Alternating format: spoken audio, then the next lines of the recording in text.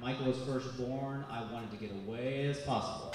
Far, far away as possible from Michael, the screaming Michael, who would keep my parents up at night. I wanted my own room right away.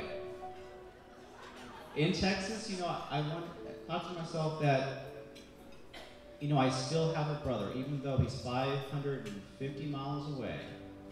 He is still my brother, and I feel closer to you, Michael, I ever felt in any of our time growing up.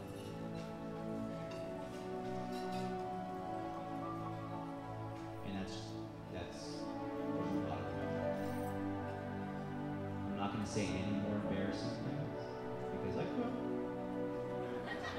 And I wish you two the best years ahead.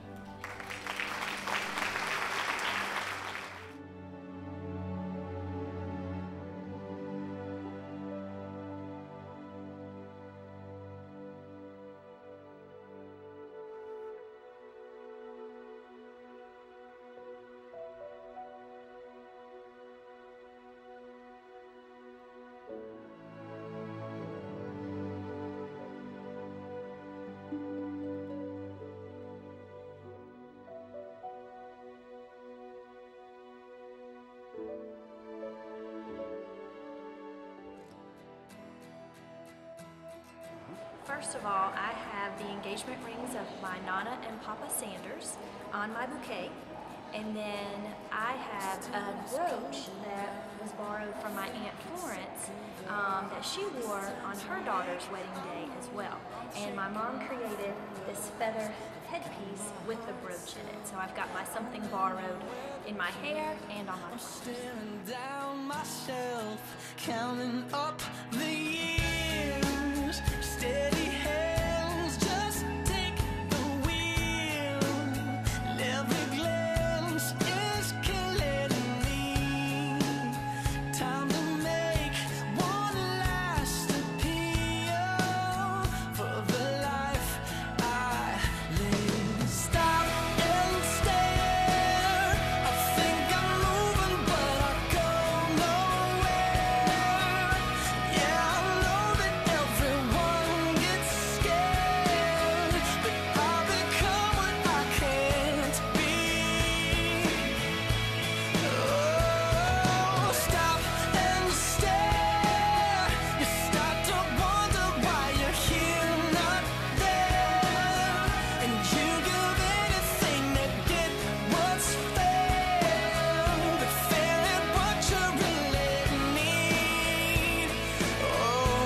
Do you see what I see?